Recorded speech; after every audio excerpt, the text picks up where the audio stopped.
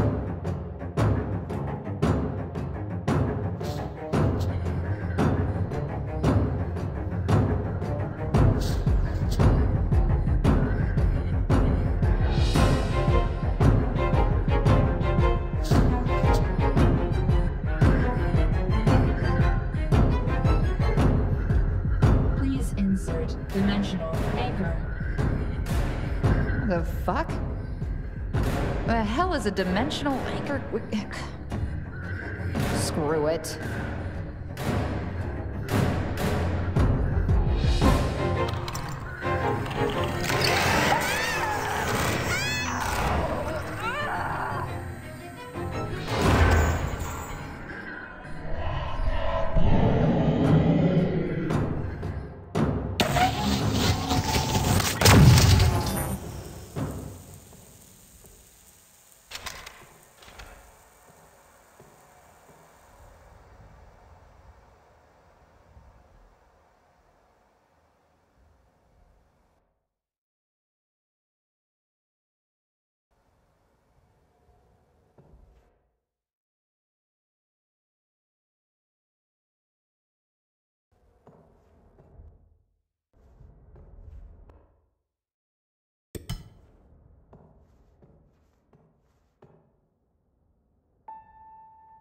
Hey there, baby bear. It's uh it's been a long time and I'm so so sorry. After your mom and I split, I just I want you to know it wasn't your fault, okay? It was never either of your faults. I just I guess I'll, I'll have a lot to explain when you get here, huh? Oh, right. I need your help, Hera. Um, a handful of us escaped the breach. There was a patient, well, a coworker. I should have seen the signs, but I didn't. And now all of this is happening. I have to fix this. And we think we found a way.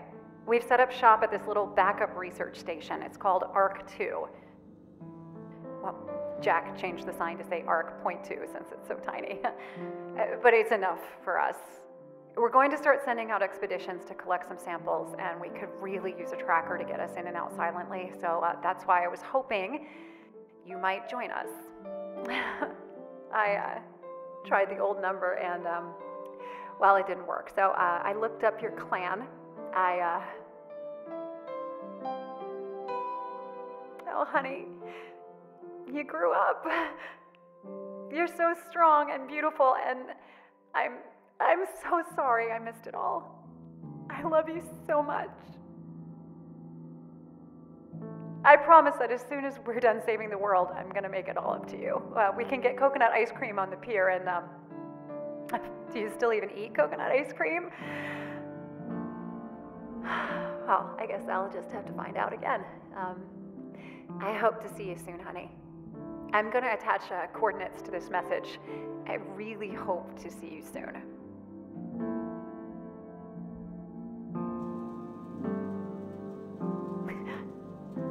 Gosh, oh gosh, there's no way I can send all of that.